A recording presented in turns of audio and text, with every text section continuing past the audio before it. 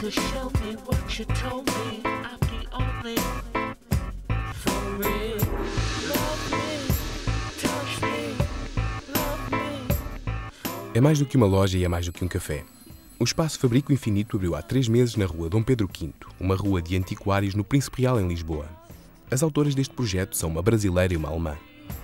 Marcela sempre queria fazer uma loja e procurava três anos, conhece tudo da Lisboa, eu acho. E quando ela encontrei este espaço, ela me liguei e, e falei, olha, Tânia, eu tenho um lugar lindo, mas tem que ser um projeto junto, que não querias ver. E se como aqui não estava nada, só lixo, ratos, um, um buio, e eu entrei e disse, oh, Marcela, não sei, eu estava com, com medo, mas depois eu pensei, ok, vamos fazer uma, um lugar para, para ficar mais tempo que a gente se sente confortável, né? Essa parte da frente, na verdade, já estava, já tinham começado a, quando eu peguei o espaço, né?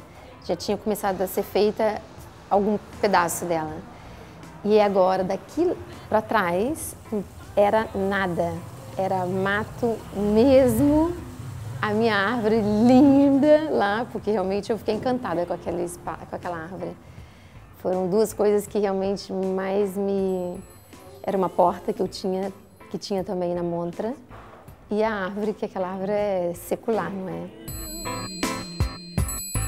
O projeto divide-se em dois espaços: a loja dedicada a peças de autor e a cafetaria complementada pelo jardim. Queríamos que fica tudo que já tem história, porque gostamos muito das coisas velhas, casas velhas, pratos velhas, não é? Porque já tem uma história, não se precisa fazer muito.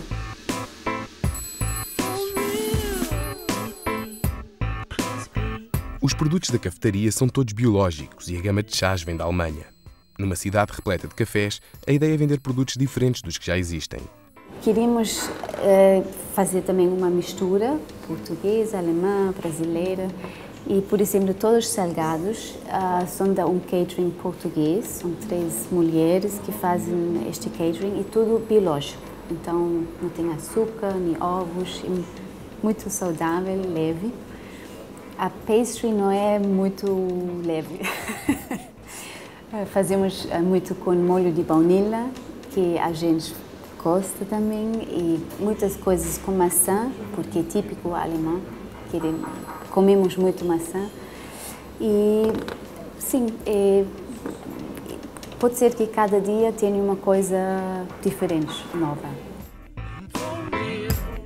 O objetivo da loja é ir ao encontro do lado conceptual do design, vender peças feitas a pensar na reutilização e na reciclagem. Dessa peça aqui, por exemplo, que é de um artista português, que no caso hoje em dia está em Milão, isso é, são restos que ele monta e funciona. Só que muitas pessoas às vezes não conseguem ver o lado porque é de sucata, não é? Os meus lustres são coisas antigas e são peças antigas. E hum, com um novo toque que eu estou tentando ter, dar essa linha, é, vira uma outra imagem, mas são peças que eu não preciso de produzir industrialmente, poluir o ambiente para chegar de novo, elas já estão aí.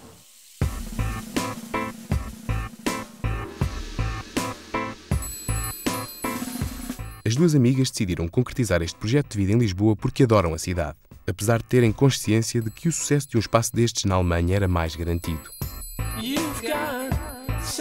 A minha formação é de design e eu trabalhei na Alemanha com design. É... E quando eu cheguei a Lisboa, me apaixonei porque a cidade é antiga.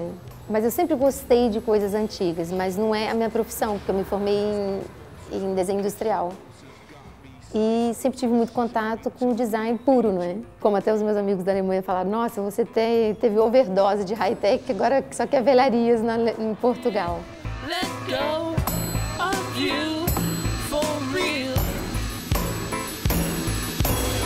hocus pocus show. It's osmosis, one kiss your doses got me psychosis. Show me, trust me, need you, the real.